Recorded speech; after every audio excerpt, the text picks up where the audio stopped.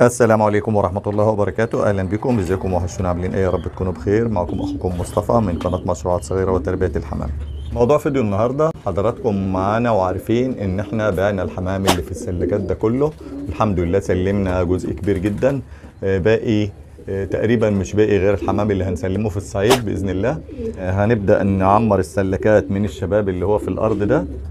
الموضوع إن في سيدة كانت بتكلمني من البداية هجيلك من البداية أهوت. كانت بتكلمني من حوالي خمس شهور يعني من شهر خمسة بداية شهر خمسة كده. المشكلة في إيه؟ هي مش مشكلة ولا حاجة الحمد لله اتحلت بس هقول لك على حاجة ممكن تحصل معاك. لو أنت بتبيع حمام خاصة الحمام اللاحم أو لو أنت بتشتري من حد حمام لاحم. الموضوع إن أنا سلمت للسيدة دي طبعا مع الحمام ده كله آه، من أول الناس اللي سلمتها لأن هي من زمان بتستناني. أنا سلمتها الجوزين القص اللي انت هتشوفه دلوقتي ده رقم خمسة. ده القص رقم خمسة ده الذكر اللي بالعلامة الحمراء ده وده النتاية اللي بالعلامة الزرقاء دي. طبعا ما لهمش حصى لكن أنا مجربهم. مجربهم إزاي؟ الذكر كان واخد نتاية تانية والنتاية دي كانت أخدة ذكر تاني. عجبني شغلهم فقلت أجوزهم على بعض لأن حجمهم حلو. دول هيكونوا 400 جنيه. أنا مجربهم طبعا. دي النتاية دي كانت اللي هي في راسها الازرق دي شوف حجمها أكبر من الذكر ما شاء الله. إيه، كانت أخدة ذكر رومي ومعاها زغاليل. اوريك زغاليلها. ده الزغلول ده اللي فيه الحتة البني ده. ده أبو رومي أهو. والزغلول التاني اللي جوه ده أهو باين أهو. أيوه راحوا الزغلولين مع بعض. اهم بسم الله ما شاء الله حجمهم يعني تهجينة الرومي على اللحم. ذكر رومي وانتهى لحم حجمها محترم بيطلعوا زغاليل محترمة. بس أنا طبعا أنا كنت عايز أسيبهم أكل من ولادهم لكن عشان الطلب مني لحم كتير فأخدت النتايه جوزتها للذكر ده يعني عشان تكون عارف إيه الحكاية يعني. والذكر برضو مجرب على انتهاء لحم بس أنا حبيت إن هم أطقمهم يعني الجوز لايقين على بعض. والقص الثاني رقم 13 اهو يا جماعة آه، تحته بيض اهوت مخصب إن شاء الله. ده من الأسس المحترمة شايف ما شاء الله الحجم الشكل كل شيء في مواصفات الحمام اللحم ده برضو 450 يا جماعة. حاجة من الأسس اللي تحبها. سلمتها الحمام وهي كلمتني بعد يومين. قالت لي الحمام باض يا عم مصطفى. فيهم قص من الاثنين يعني باض طبعا هو باض لأنه هو كان محضر البيض عندي. فلولا كده مش هيبيض عندها دلوقتي. الحمام آه، بعد أسبوعين اسألني عليه. الحمام باض أو الحمام ما باضش لكن مش دي المشكلة. الحمام باض حاجة كويسة الحمد لله. لكن المشكلة زي ما هتشوف دلوقتي في الفيديو اللي هي بعتهولي الحمام مش بيوقف في السلاكة ساكت. تمام؟ طيب الحمام ليه مش بيوقف في السلاكة؟ دي حاجة يعني معرفش هي سألت حد قال لها الحمام ده ممكن يكون عنده روشة أو هي قالت لي الكلمة دي هي قالت لي الحمام عنده روشة وأنا كان هيجي لي أنا روشة أو هيجي لي أنا جلطة. يعني ربنا يكفيكم ويعافيكم يا رب. ليه طبعا حضراتكم عارفين إن أنا محصن آه، تحصين الجدري ومحصن تحصين السلمونيلا ومحصن تحصين الروشة. يعني عملنا كل اللي علينا اللي محدش بيعمله مع الحمام عملناه مع الحمام. لما هي تاخد قص ويبيض عندها يبقى يعني بيبيض بعدها بعد يومين ثلاثة يبقى تمام قوي قوي قوي قوي والحمد لله على كده. طبعا أنا سألتها الحمام مش متعود عليكم أنتوا بتزعجوا الحمام آه، بتدخلوا على الحمام كتير منورين نور عالي آه، أو معليين راديو قالت إنها فاتحة على القرآن. قلت مش مشكلة فاتحة على القرآن بس ما تخليش الصوت عالي برضو. آه، حاجة تانية إن الحمام بيخاف منكم لسه مش متعود عليكم. يعني أنا بالنسبة لي لما حد بيطلع يأكل حمام غيري الحمام بيخاف. آه، طبعا هي قالت إن مفيش حاجات من دي خالص وراجعنا الحاجات دي كلها مع بعض. قلت لها في حاجة الحمام ده ناقصه حاجة. الحمام لما يكون ناقصه حاجة بيجري ويخربط في السلاكة زي ما هي. وريتني كده الحمام عمال رايح جاي شوف الحمام واقف هادي إزاي؟ تعرف إن هو خلاص كده أكل وشرب وما عادش ناقصه حاجة. لكن الحمام لو انت شايفه قاعد يجي يجري زي عندها كده عمال يجري ويخبط في السلاكة اعرف إن الحمام ناقصه حاجة. وده ربنا ألهمني له إن أنا كنت عامل فيديو من فترة وقلت بعنوان الحمام بيخربط في السلاكة هسيب لك صوت الفيديو دلوقتي وهسيب لك رابط الفيديو آه، في وصف الفيديو إن شاء الله.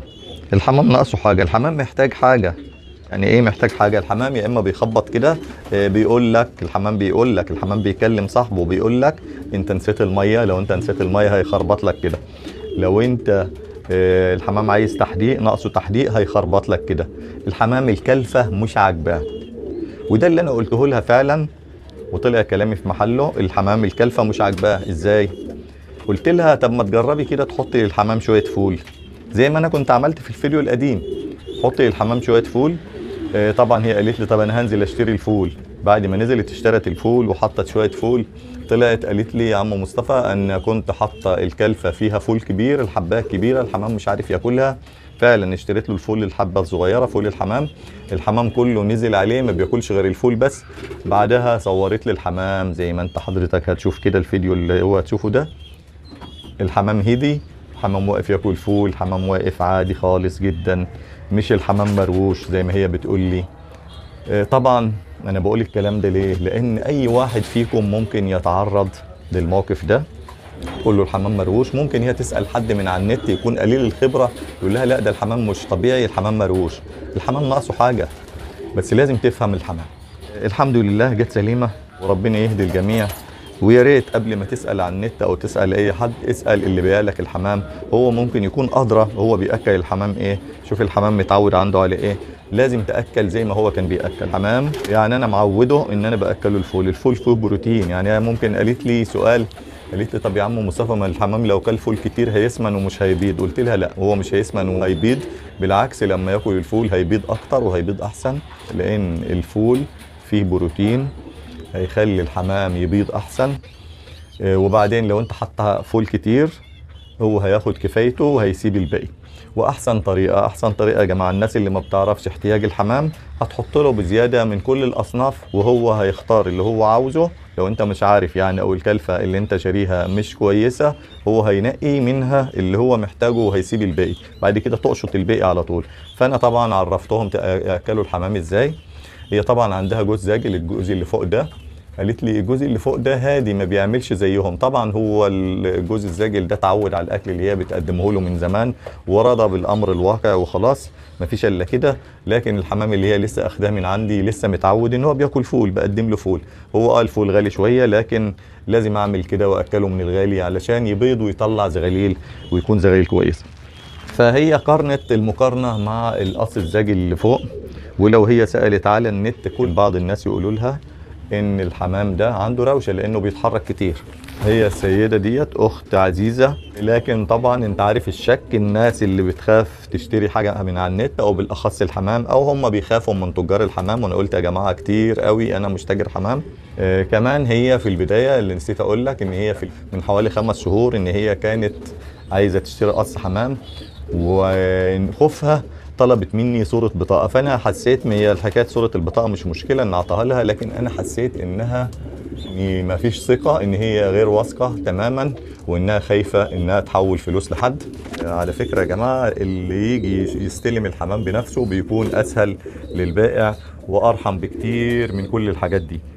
طبعا إيه، لما هي طلبت صورة البطاقة إن أنا حاولت إن أنا اخرها شوية علشان إنها تكون واثقة. فبتقول لي طب أمال أنا أضمن حقي إزاي؟ قلت لها اشتري من اللي تثقي فيه. ما أنت لو مش واثقة فيا إن أنا هعطيك يعني الحمام أو إن أنا هشحن لك الحمام. برضو ممكن تخافي إن أنا آه، ما اشحنلكش حمام كويس. إيه المانع يعني؟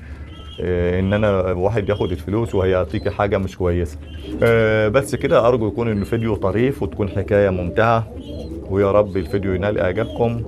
لو عجبك الفيديو اعمل لايك واشترك في القناة لو لسه ما اشتركتش وفعل زر الجرس علشان يوصلك باقي فيديوهاتنا. والسلام عليكم ورحمة الله وبركاته.